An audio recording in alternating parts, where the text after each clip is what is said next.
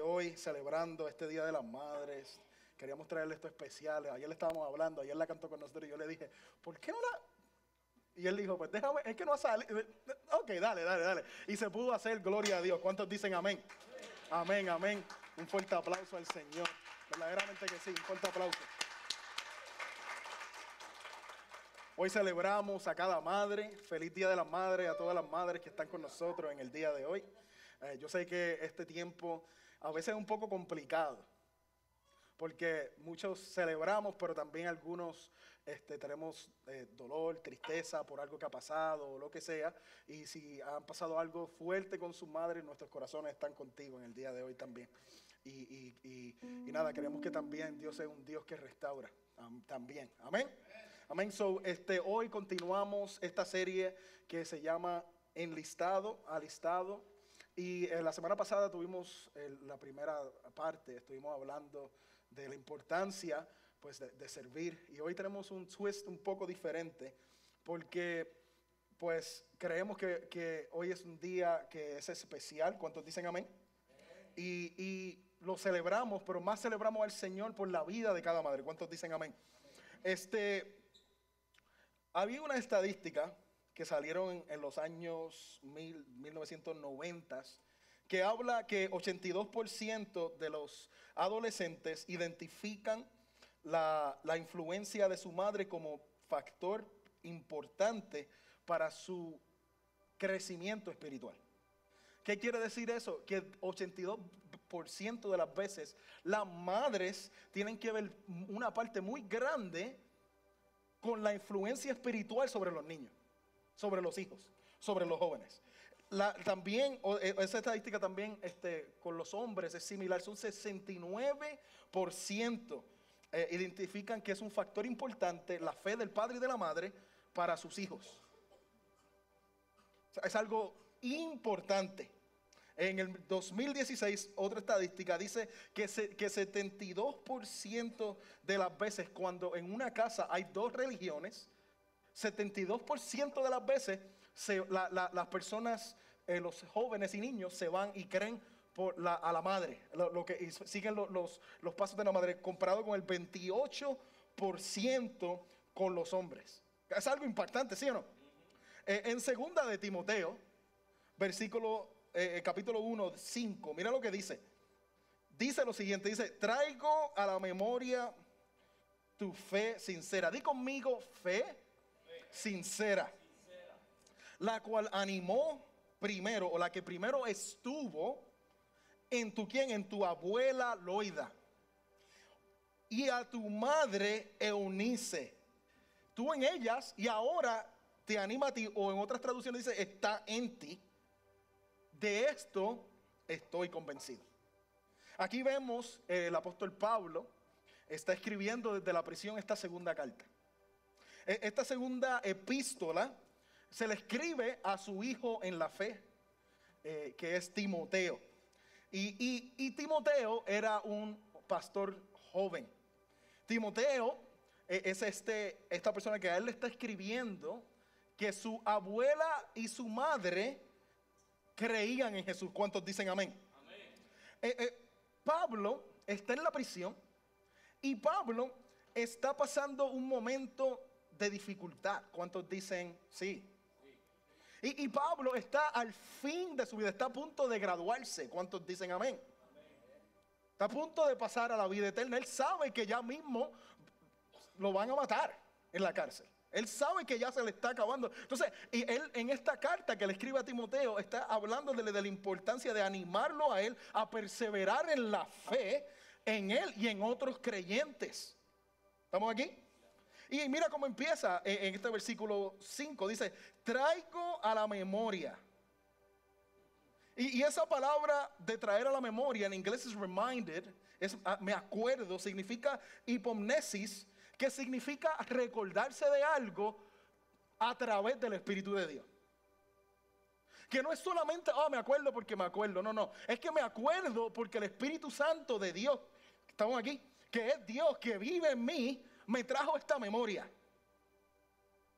Y como Él me trajo a mí esta memoria, ahora eso produce gratitud. ¿Estamos aquí? So, el Espíritu Santo trae una memoria que produce gratitud en Pablo. Y él está agradecido con quién? Con la vida de las personas que influenciaron a quién? A Timoteo.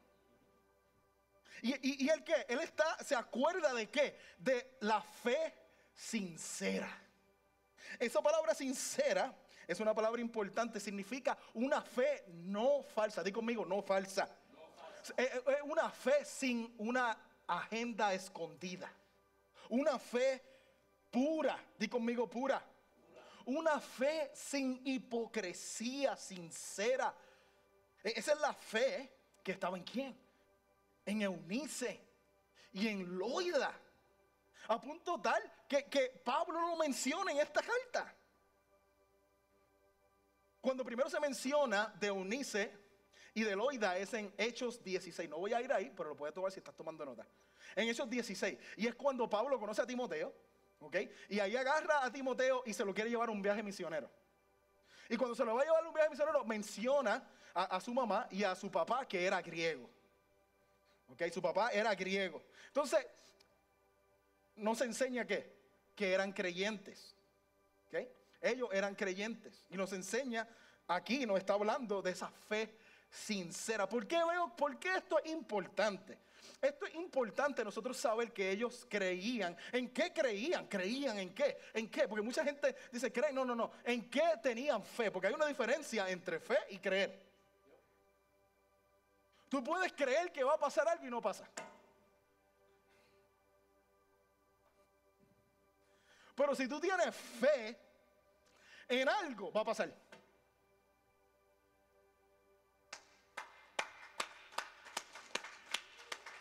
Si tú tienes fe en Cristo, lo que Él te ha prometido va a pasar. Y hay una diferencia entre tener fe y creer. Porque cuando uno cree, sale de nosotros mismos el creer que esto va a pasar. Pero la fe es un don de Dios que viene de Dios, que Él deposita en nosotros. ¿Cuántos dicen amén?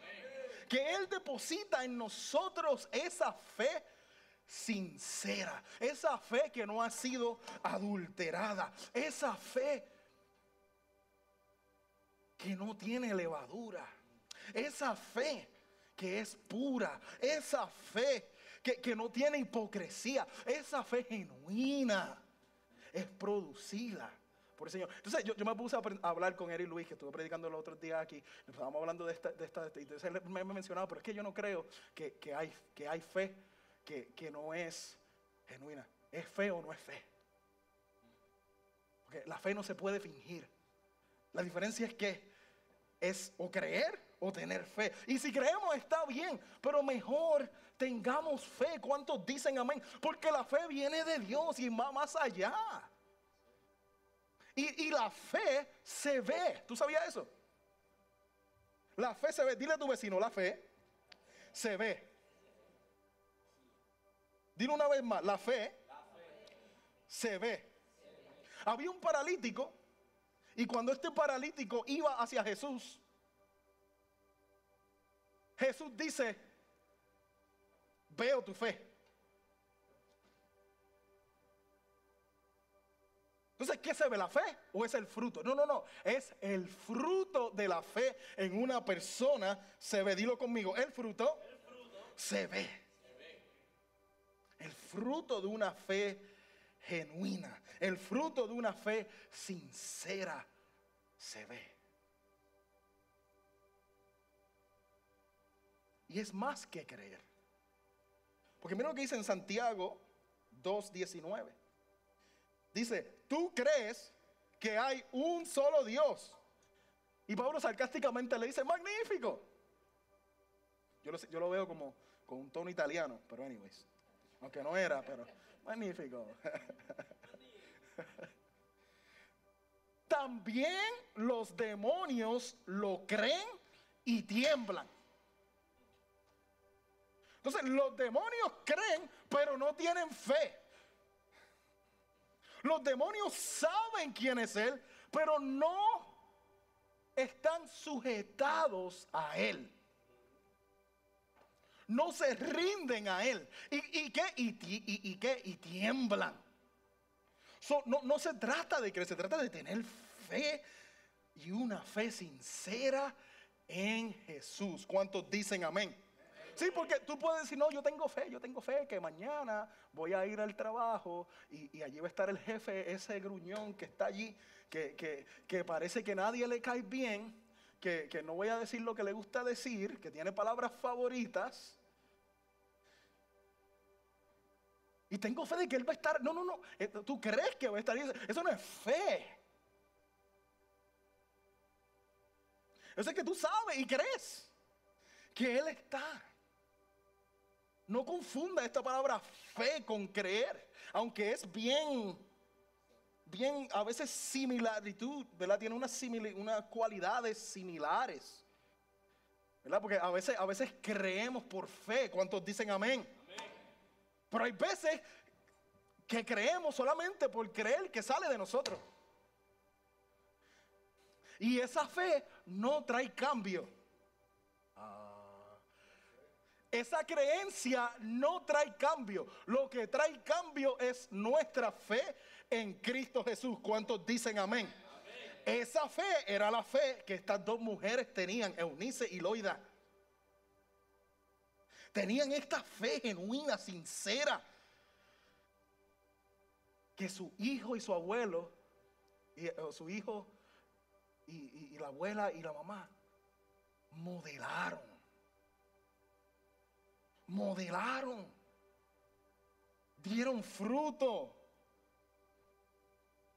fueron perseguidas. ¿Quién sabe Dios si no sufrieron por Cristo?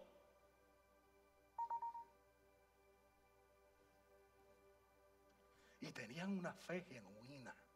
¿Cuántos aquí han ido al supermercado y, cuando uno paga, le da un billete de, voy a decir de 20 o de 100. Sí, porque hoy en día a 100 es que se paga en, el, supermercado. Lo único que se usan tarjetas, ay no, bueno, yo no sé la última vez que, pero anyways. Y uno va al supermercado y, uno da ese bill y, sacan un, como un bolígrafo, una pluma especial, marcador.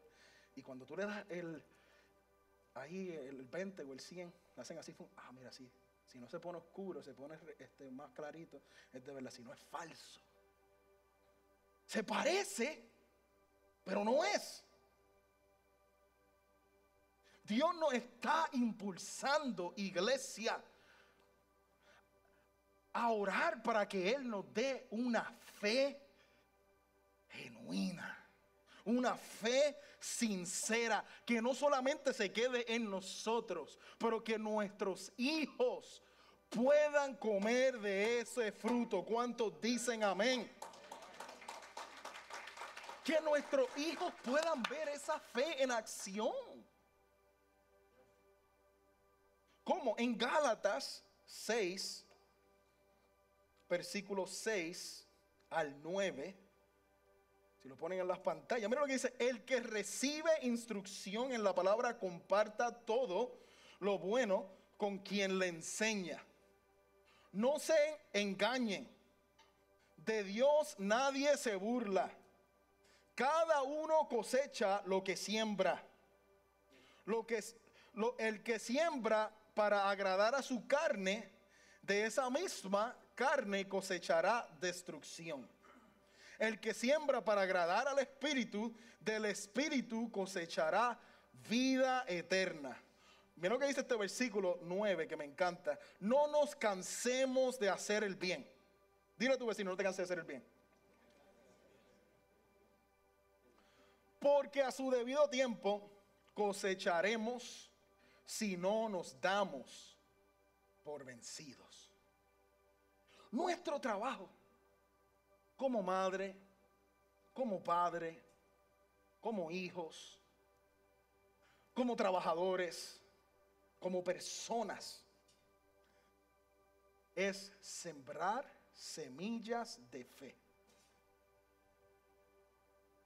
Con tus hijos, padre, tu número un trabajo es sembrar esas semillas de fe.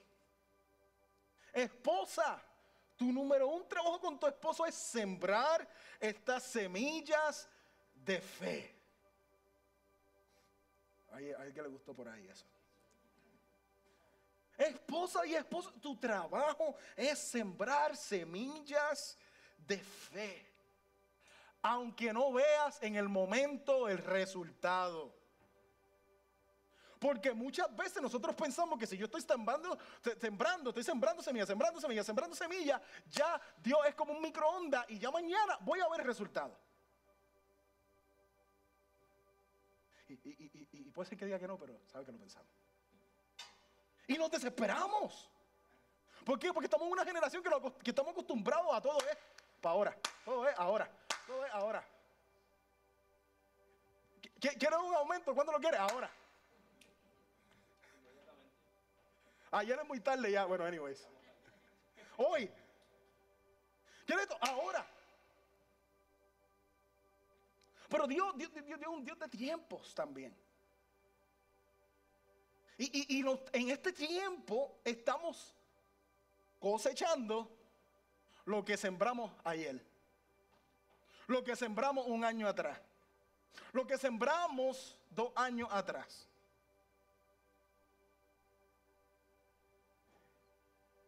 Qué hacemos con la hierba mala? ¿Qué hacemos? Tírale semilla buena de fe para que crezca la hierba buena y la hierba mala se tenga que ir.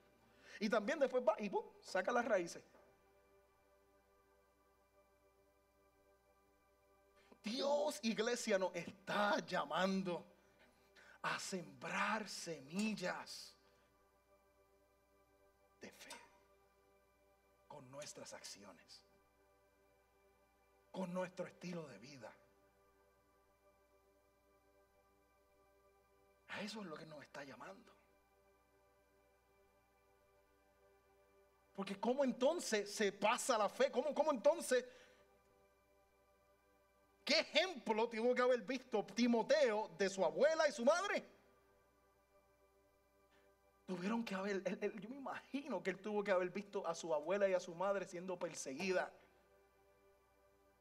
Yo me imagino que, él, él tuvo que haber visto la fe de ella probada.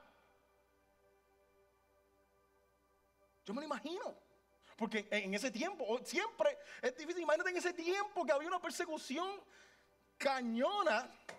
Perdona la puertorriqueñada.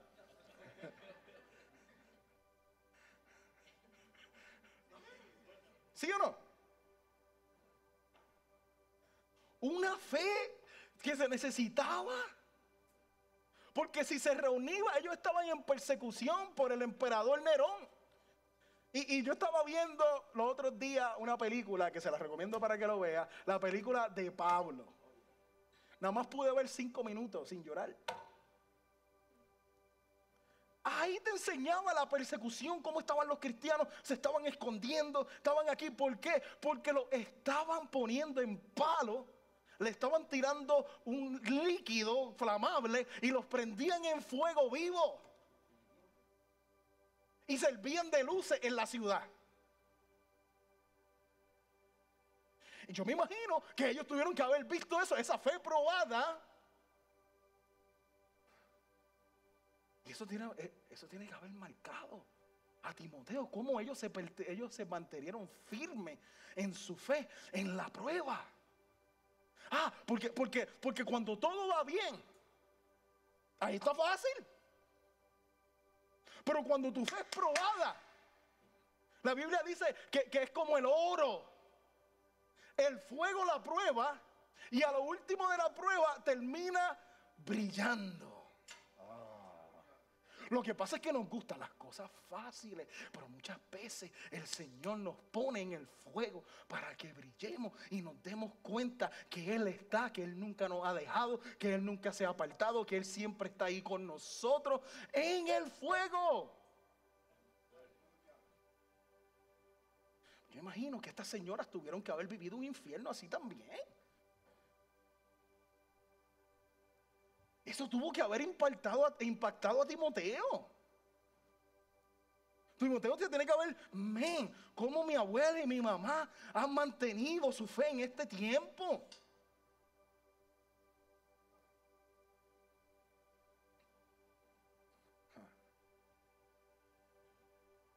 Las pruebas que tú pasas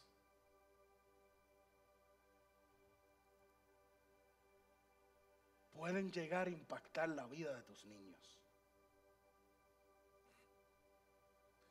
Si te mantienes firme. Las tempestades que tú pasas y puede llegar a hacer una diferencia.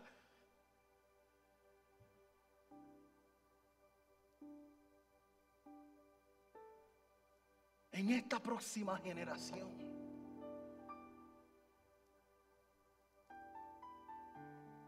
Porque yo no sé tú, yo lo que más odiaría en mi vida fuera, y odiaría una palabra fuerte, pero lo más que yo odiaría fuera yo caminar en un camino y que mis hijos no caminen en ese camino.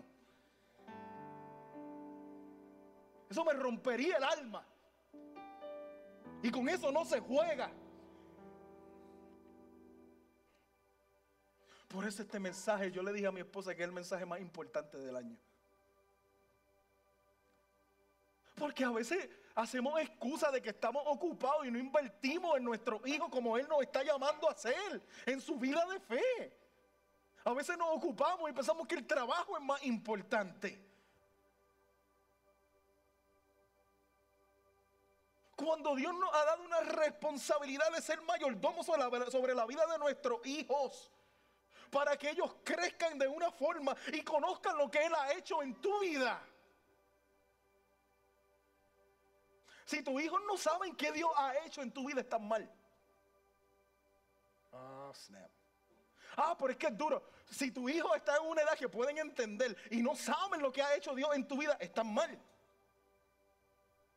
Y va a ser como esta generación en jueces Dos, que, mira lo que pasa. Josué está entrando a la tierra prometida, ya lleva un tiempo ahí, han conquistado, están cansados de conquistar. Todo donde han puesto sus pies ha sido de ellos. Y mira lo que pasa este versículo número 10, 2, 10. Dice, también murió toda aquella generación y surgió otra que no conocía al Señor ni sabía lo que él había hecho por Israel. Tú sabes que, que Dios ah, lo saca de una esclavitud más de 500 años pasan por el mar rojo, pasan por, por, ríos en, secos. Dios les dice que agarren unas, eh, eh, unos stones, unas piedras grandes y las pongan en un, lugar, a hacer un monumental y que lleven sus hijos todos los años para que ellos vean lo que el Señor ha hecho. Que Él es real, que Él es bueno, que Él es Dios. ¿Quién es Él para ellos? y ellos dejaron de hacer eso. Y yo me quedo, pero, pero ¿por qué? Lo más seguro estaban enfocados en conquistar. Lo más seguro estaban enfocados en, la promesa y se lo olvidó. Lo más seguro estaban ocupados. Haciendo el bien, haciendo cosas buenas. Y se les olvidó lo que tenían en sus manos, lo que Dios había puesto como una de las primeras responsabilidades de su vida, que son sus hijos. Tú puedes decir, no, yo no tengo hijos. ¿Por quién es la persona que está más cerca de ti? En esas personas que Dios te está llamando a invertir. ¿Para qué? ¿Para qué? Para que este versículo 11, esos israelitas hicieron lo malo ante los ojos del Señor, adoraron a Baales que eran dioses falsos. Versículo 12, abandonaron al Señor, Dios de su antepasado, que los había sacado de Egipto. Siguieron a otros dioses dioses de los pueblos que rodeaban y, adoraron y provocando así a la ira del Señor.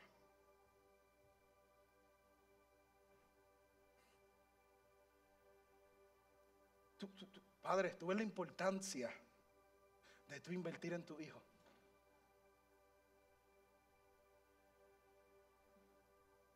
Y, y, yo no estoy aquí diciendo que yo soy perfecto. No, no, no, no, yo no soy perfecto. Pero trato. Trato.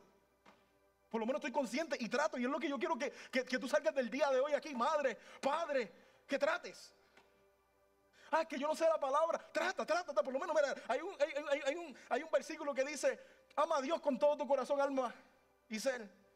y a, tu, y a tu vecino o a tu hermano como a ti mismo. Empieza por ahí, empieza por ahí, pero empieza enseñándole algo. ¿Por qué? Porque en Proverbios 22, 6 dice, instruye al niño en el camino y no se apartará.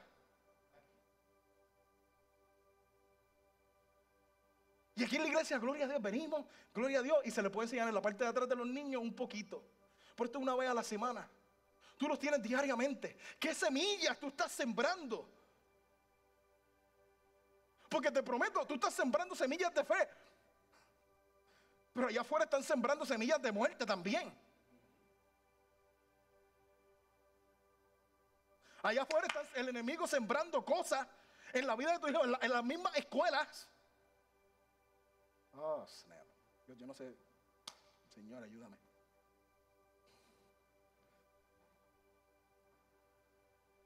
sembrando semillas en contra de la fe que se supone que sea, que nosotros cargamos, que se supone que sea sincera y lo más importante de nuestra vida. ¿Qué podemos hacer? Número uno, instruirlo. Dí conmigo instruir. Número dos, ser cartas abiertas para las personas que están alrededor de nosotros, porque no es solamente con tu hijo, también con la gente que vive contigo, con tu vecino ser canta abierta. Segunda de Corintios 2, 3, 2. Número 3, permanecer en el Señor. Juan 15, mantenernos conectados con Él durante el día. ¿Para qué? Para dar fruto. ¿Estamos aquí?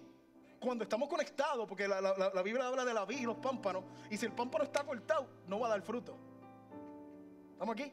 Entonces, estando conectado en un, estilo de vida de oración, de comunión, de lectura de la palabra, diario, eso va a empezar a dar fruto. Y te va a cambiar. Y no te va a aparecer. Y te va a aparecer a Cristo.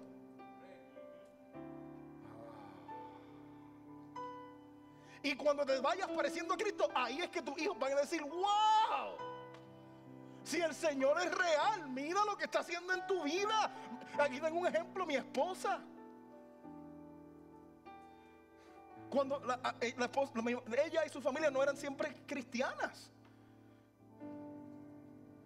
Y Alma, que, que está aquí con nosotros también, ella pasó un proceso bien duro en su vida que le hirió. Y ella estaba desahogando su dolor, haciendo cosas que no tenía que estar haciendo. Pero un día tuvo un encuentro con el Señor. ¿Cuántos dicen amén? Y su vida cambió. A punto tal que tuvo una fe sincera. Y mi esposa Vanessa dice que por ver el cambio de su mamá, ella decidió seguir al Señor. Impactó su vida de cómo antes casi no la veía como quería, pero después, amén, la marcó. Así que no te quites, alma. Sigue perseverando. Si ya lo hizo una vez, lo va a seguir haciendo. Tú sigue con tu fe sincera.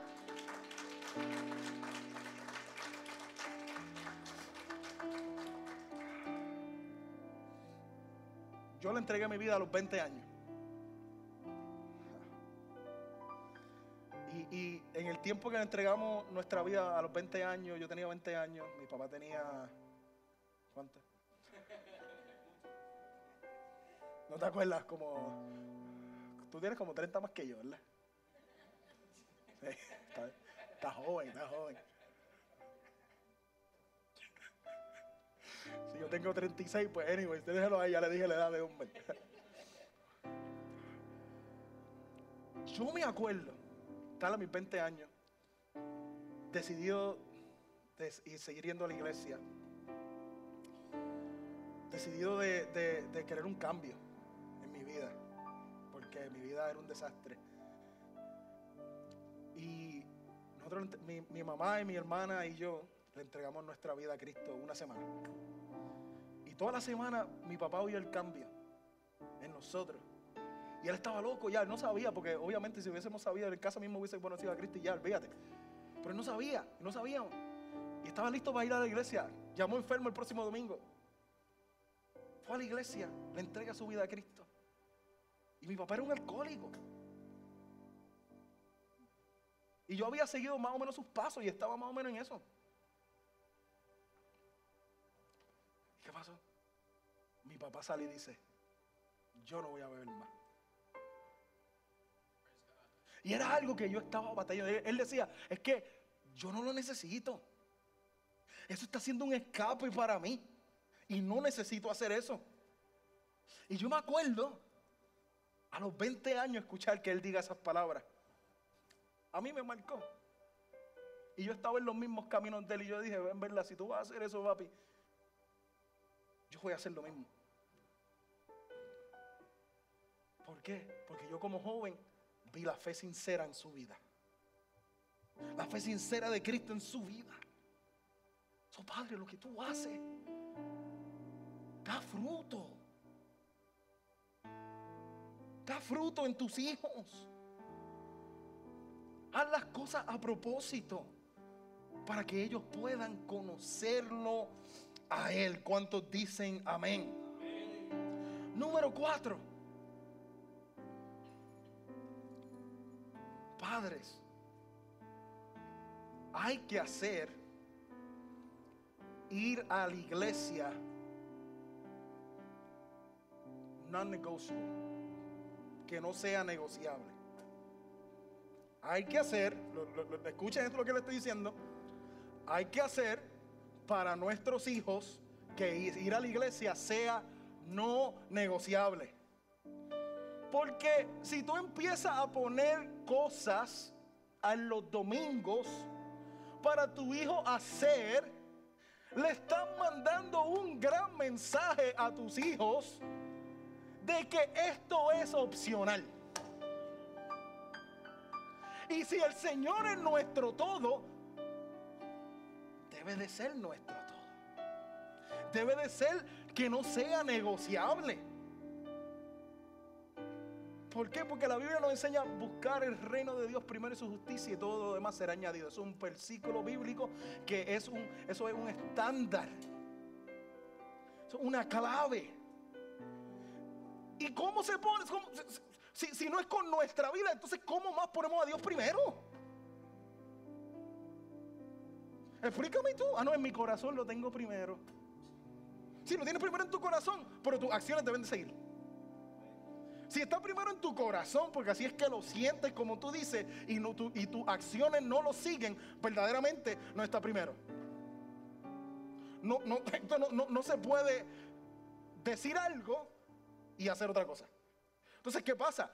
Las estadísticas dicen que cuando la iglesia es que algo que, que los padres van de vez en cuando, o no es, o es negociable, las próximas generaciones ven eso y es menos importante para ellos eh, eh, estadísticamente que lo que fue para los padres.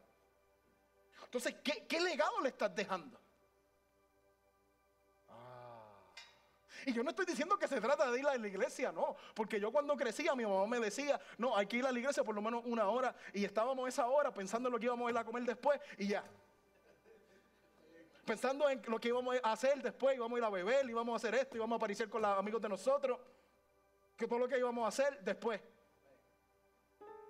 Eso no se trata de esa hora. Nos dimos cuenta que se trata de una vida. Una vida. Y tú mandas un mensaje porque el domingo, dame un fuerte aplauso al, al Señor. Porque el domingo es que el domingo Muchos lo ven como el último día, pero en verdad es el primero del día de la semana. Y como tú empiezas, algo importa. Entonces, como los cristianos empezamos nuestro primer día de la semana en la iglesia, adorando, celebrando, exaltando al que dio su vida por nosotros, celebrando al Rey de Reyes, al Señor de Señores. Y si eso no es un big deal para nosotros, y, y decimos, no, pues yo puedo hacer esto también Estamos mandándole un mensaje a nuestros niños. Y no wonder que nunca no quieren ir porque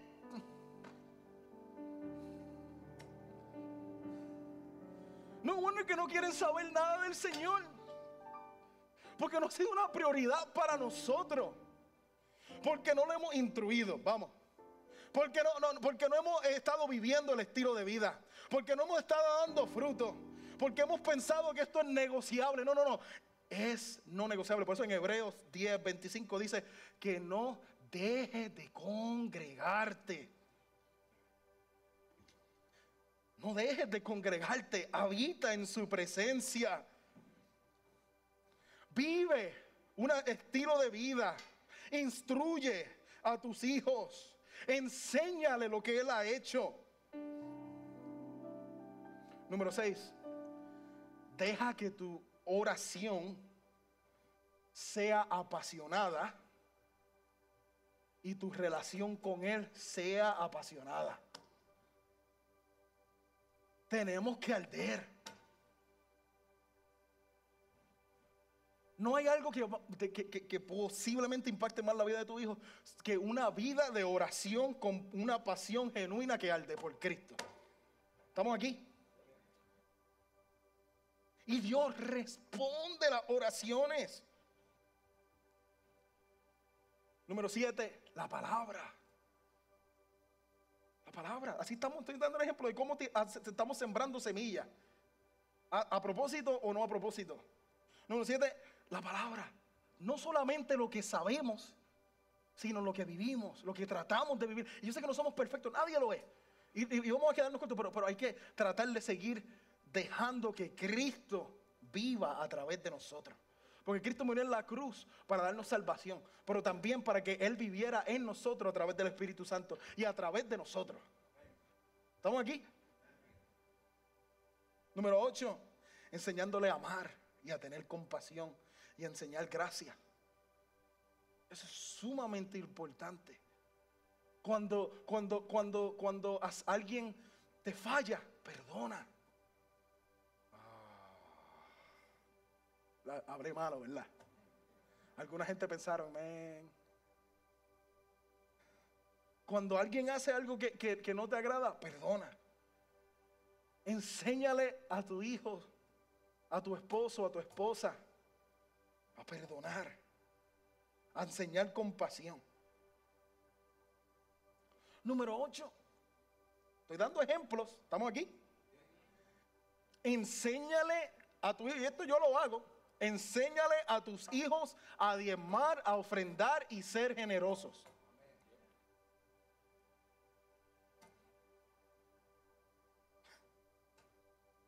Si no se lo enseñas desde pequeño, van a crecer y van a seguir igual. Y no, le, y no instruimos a ellos en esa área.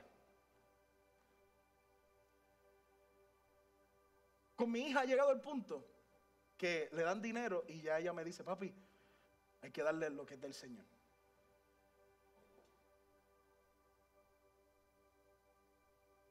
Y ella viene y le da lo que es del Señor. Y no tiene que salir de mí. Al principio que tuvo que salir de mí y decirle, Isabel, hay que, tú sabes, tengo que enseñarte esto, que es un principio bíblico. Porque hasta en nuestras finanzas, Dios nos pide que lo pongamos primero. Ah, un amén. Porque ¿quién es primero en tu finanza? ¿Sabe que la número una razón de los divorcios en los Estados Unidos son las finanzas?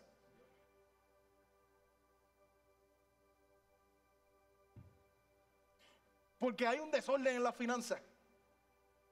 Entonces, entonces, el enemigo se ha metido en la iglesia a hacerle a la gente pensar, no, es que el pastor no tiene que hablar de finanzas. Seguro que sí. Parte de pastoral es hablar de finanzas. ¿Para qué? Para ayudar a los matrimonios a que no se rompan.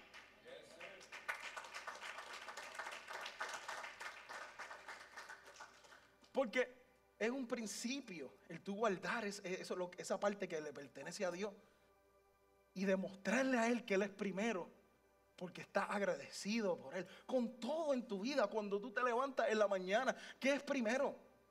Facebook. Instagram. X. ¿Qué es primero? Los textos. Yo no sé tú, cuando yo me levanto y, me, levanto y mi jefe me está llamando, eso es lo peor del mundo.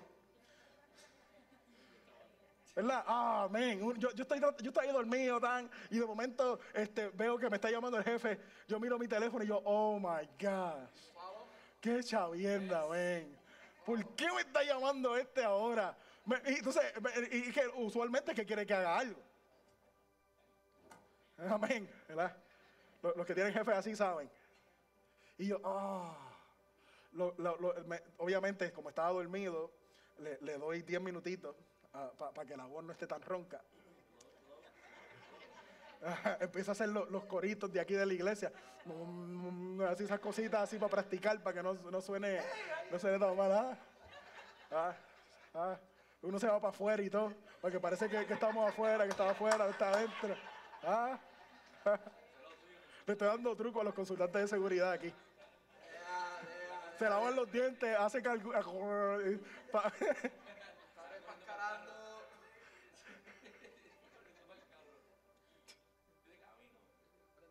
ah, el carro lo prende ahí.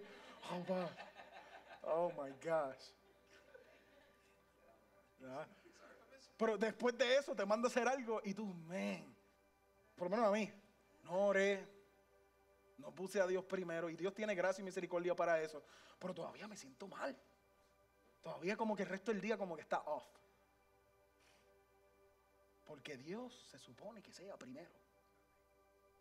Buscar el reino de Dios y su justicia y todo lo demás será añadido.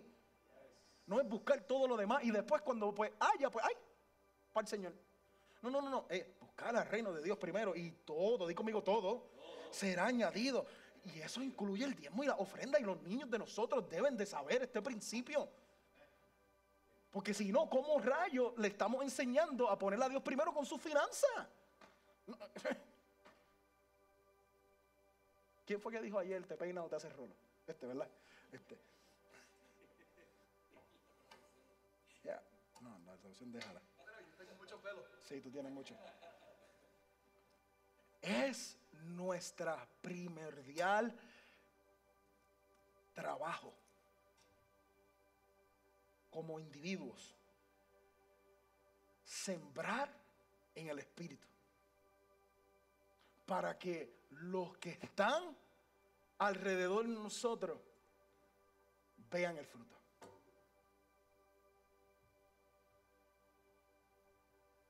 Yo no sé tú yo me sentiría, yo, yo pudiera, pudiéramos este, tener la iglesia y todo lo demás, pero yo me sentiría como el fraude más grande. Que cuando yo crezca y mis hijos crezcan, bueno, ya yo crecí, pero que cuando mis hijos crezcan, no les sirva. Me sentiría bien. Verdaderamente, verdaderamente valió la pena tener una familia destruida pero sí tenemos iglesia. Y eso soy, y eso soy yo. Pero nosotros.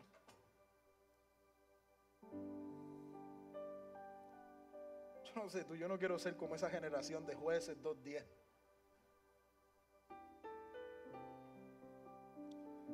Que sus antepasados conocían al Señor.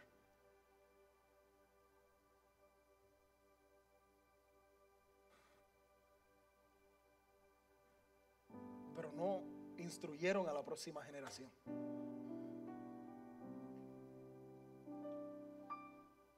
Y se apartaron del Señor. Y fueron malvados. Y adoraron a otros dioses.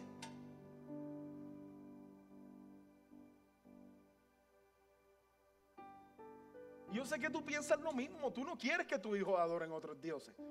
¿Quién diría? ¿Quién diría? Ah, no, si yo quiero, es que yo quiero. Si no, mira, pastor, yo quiero que mi hijo adoren a otros dioses. Nadie. Pues nos toca qué? Hacer ahora. Sembrar.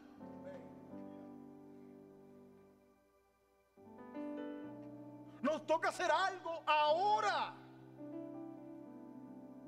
No dejar para mañana lo que puedes hacer hoy, hacerlo ahora. Invertir en ellos ahora, invertir en nuestro esposo o esposa ahora, invertir en nuestros compañeros de trabajo ahora, invertir en nuestros hijos ahora, invertir en nuestra familia ahora, invertir en nuestra relación con Cristo ahora. Y no dejarlo para mañana. Porque tú no sabes si hoy es tu último día. Y si hoy es tu último día, te pregunto que te hagas la pregunta a ti, ¿qué legado le has dejado a tu próxima generación? Y si, no, y si, y si analizas y no, te, y no te gusta la respuesta, cambia hoy. Arrepiéntete, ve delante del Señor y dile, Señor, perdóname, yo me arrepiento de que no he estado caminando como tú quieres que yo camine, pero vengo delante de ti, Señor, y te pido que tú obres en mí, que tú operes en mí. Señor, yo quiero fe, dame fe, dame una fe sincera para que mis amados que están alrededor de mí puedan verte a ti en mí.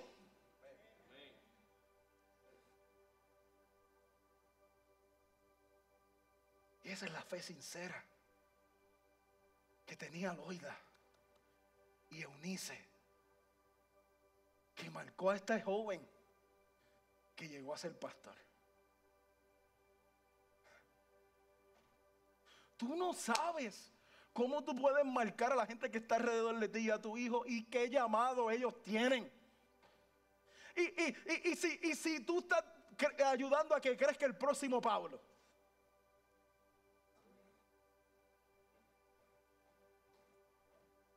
Y si, y si, y si tu, tu, hijo o nietos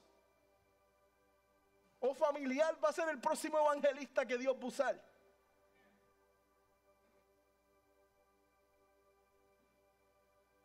O pastor. ¿Qué sabía yo que yo iba a ser pastor? Es un sueño todavía. Y lo que quiero decir sueño es como que a veces como que, en verdad, esto está pasando. Pero fue lo que Dios me escogió hacer. Yo no lo busqué.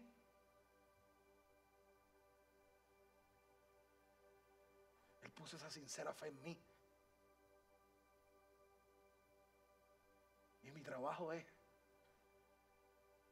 dar fruto. Palabras, con acciones dar fruto para mi familia, dar fruto para ustedes. Que Cristo sea el que viva a través de mí. Ese es tu trabajo, iglesia. Equipo de alabanza si puedes subir. Si hoy fuera tu último día, ¿cómo tu vida ha impactado la vida de los demás? Quiero que tú medites en eso. Si hoy fuera tu último día, ¿qué legado le habrías dejado a tu familia? Yo quiero que tú medites en eso. Y tú hagas un compromiso hoy con el Señor.